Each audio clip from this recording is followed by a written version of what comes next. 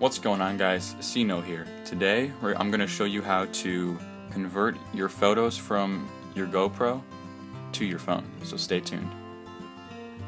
So basically what you what you want to do first is first you want to download the GoPro app so you can access the photos when they're transferred.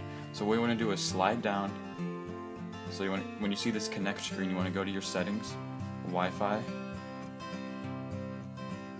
and then you want to press the, the name of the, of the GoPro and then press connect. And then you want to go to the GoPro app. And then you press connect on the GoPro. Then you press view media. And then you can see all the pictures and videos you took on your GoPro to your phone. And then you can pick one. You press the little icon down here with like the little box in, in the arrow. Press that.